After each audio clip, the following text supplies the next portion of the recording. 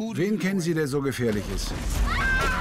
Ich weiß noch, wie ich zu mir sagte, die werden sich am Ende alle umbringen. Und niemand hat bisher von diesem Quentin-Typen gehört. Acht Filme und sie waren alle sehr erfolgreich. Seine Filme wirken so, dass sie einen anregen und aufwecken. Unser 90er Jahre Horrorfilmgenre, ähnlich dem französischen New Wave-Film.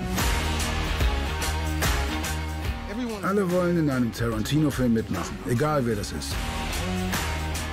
Mir erschien er wie ein übereifriger, extrovertierter Hengst. Aber er konnte sich das leisten.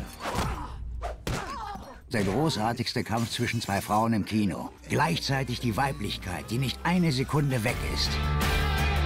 Er wollte nicht tanzen. Er schrieb die Rolle für John Travolta, eigentlich für Michael. Aber Michael wollte die Rolle nicht. Das sind brillante Drehbücher. Solche Dialoge, um seine Miete davon zu zahlen. So sieht er die Welt.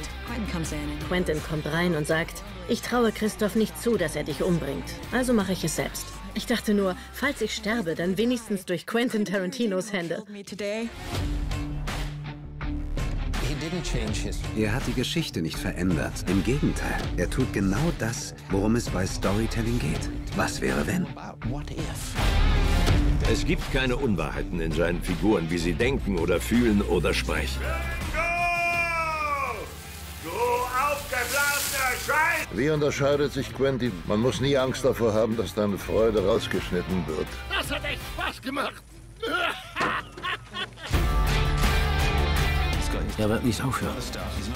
Ich weiß nicht, ich glaube, er muss 150 oder 200 Jahre leben, damit er alles machen kann, was er machen möchte.